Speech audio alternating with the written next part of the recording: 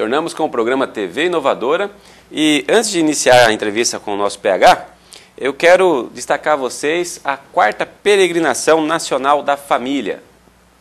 Quarta Peregrinação Nacional da Família, dias 28 e 29 de abril, no Santuário Nacional de Aparecida. Palestras, shows e celebrações. Inscreva-se em sua diocese ou acesse www.cnpf.org.br. Quarta Peregrinação Nacional da Família, dias 28 e 29 de abril. Realização CNPB. Estive então essa semana com o nosso amigo Lafayette, lá na Vila Cândida. Né? E o Lafayette pediu, Pedrinho, você vai no programa é, dar a destacadinha né, na quarta peregrinação nacional da família, que ele está organizando também a ida né, até Aparecida. É, também quero dizer a vocês que está precisando de emprego. A DLR fica ali no, no, na Galeria Antares, sala número 12. Tem várias, muitas oportunidades de emprego. Né? É só levar o seu currículo com foto né, converse lá com o Gerson, ou mande um e-mail no recrutamento arroba drlrconsultoria.com.br aos cuidados do Gerson. Né? O telefone para contato é o 3529 4310. Para vagas de estágio, a ACICAN tem um departamento chamado PROI, né, da nossa querida amiga Paula. É, para quem está no ensino médio, cursando a, a escola ou já está no superior e procura um estágio, temos aí várias oportunidades também no PROE, através do 3518-8000, falar com a Paula. Bom, pessoal, vamos iniciar agora a entrevista com o PH. O PH tem uma história muito grande e interessante, né? Quem vê o PH, imagina aquela loja grande, não sabe a história que esse rapaz já passou, né? Já foi aprendiz, já foi vendedor de mobilete, né? Já teve várias uh, experiências profissionais e vamos conversar com vocês a história de alguém que partiu do zero e hoje tem uma empresa grande e respeitável na cidade. Boa tarde, Paulo. Boa tarde, boa tarde a todos. Muito obrigado pelo convite. Ok. Paulo, então vamos, vamos ver se a gente, é, conversando agora há pouco, a gente estava revendo aqui alguns aspectos, né? Você começou como aprendiz na Expresso Nordeste. Isso. Antes da, da Expresso Nordeste, já tinha, teve uma experiência numa casa de couro, é, Ivaí. Casa, casa de couro Ivaí, em frente ao pronto-socorro.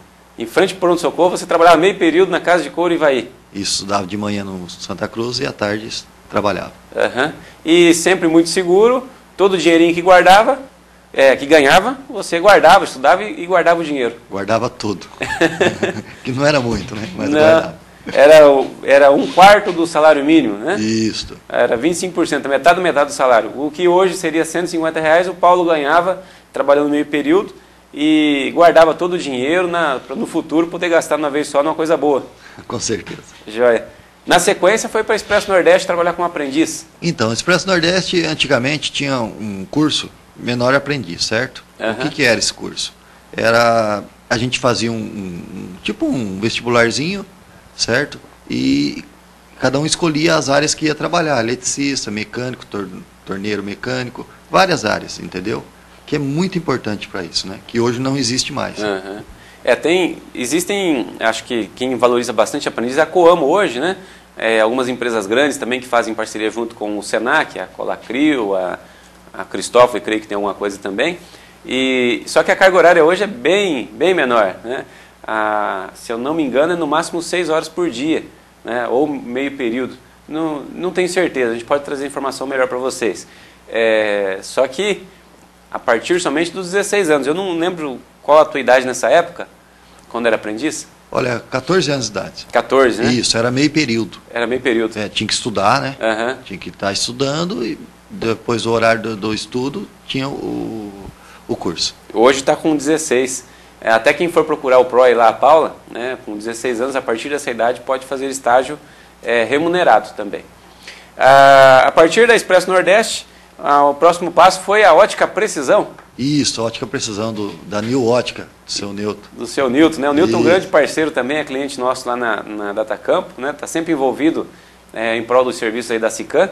É, e foi um patrão do PH no, no, início da carreira também. Me ensinou muita coisa. é, o Newton, na realidade, ele era gerente. E tem uma história muito boa, ele. É. Certo? Eu aprendi muito com ele. Qual era a tua função na New Ótica? Olha, até é engraçado, né? Ao lado das óticas precisão, né, que era em frente ao pronto-socorro, certo? do lado tinha uma clínica. Então a pessoa saía do, da clínica, eu tinha que olhar na receita dela, só de olhar de longe, né, e saber se era ela.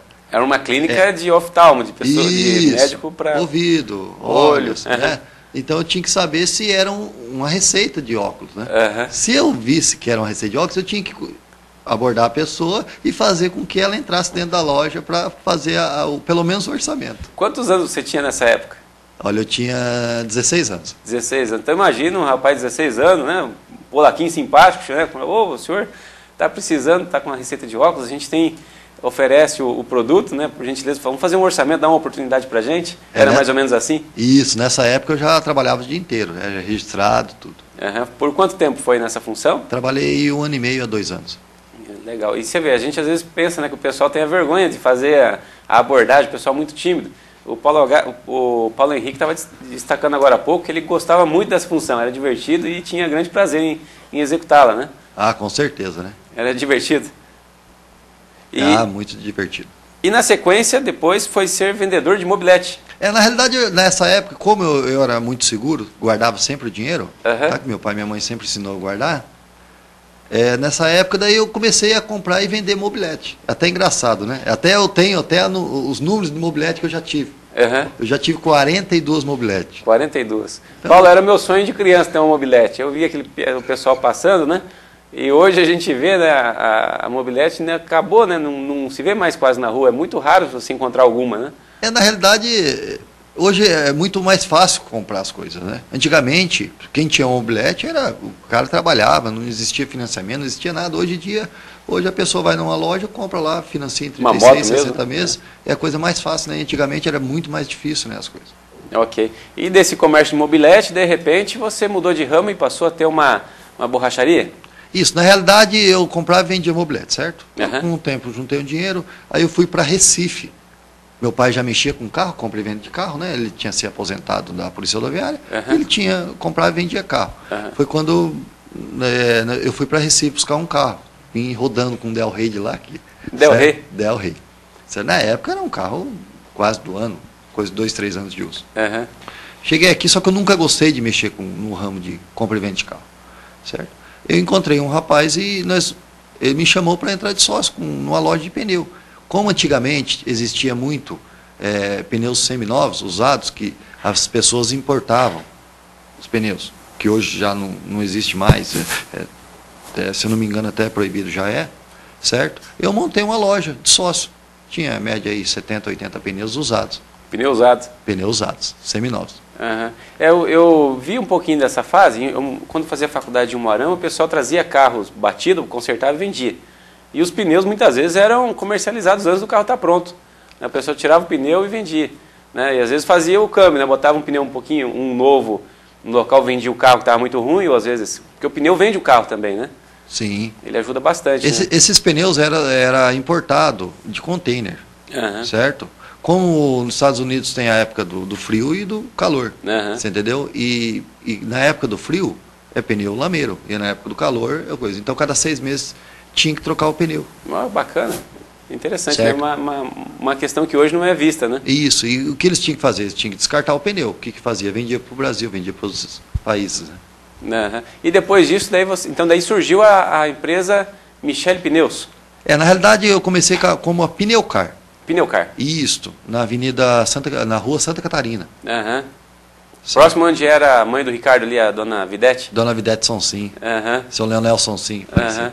Legal. E depois disso, você tinha um sócio? Eu tinha um sócio. Na realidade, era uma sociedade que durou dois meses só. Uhum. Certo? acabei comprando a parte dele. Uhum. Certo? Aí, com a loja já tinha um ano, um ano e meio, há dois anos, eu comprei a Michele Pneus, que era na Manuel Mendes Camargo. Esquina com o antigo posto Tigrão. Ah. Onde é a Riviera hoje. Ah, sim, do Osni ali, tá, tem a Sanecamp, tem a Isso. Camponáutica, né, do Márcio, tem na esquina de lá. Na esquina de lá, Era que ali. é uma vidraçaria hoje. Uhum. Aí depois a Michele surgiu a... O PH Pneus. PH Pneus. Por que PH? PH era um funcionário que eu tinha e me apelidou de PH. E pegou o nome. Pegou. Certo? Que era em frente à igreja... A... Que, que era em frente à igreja ucraniana. Uhum. Bom, pessoal, vamos sair agora para um breve intervalo, tem bastante assunto, né? E vamos continuar com essa interessante história do PH.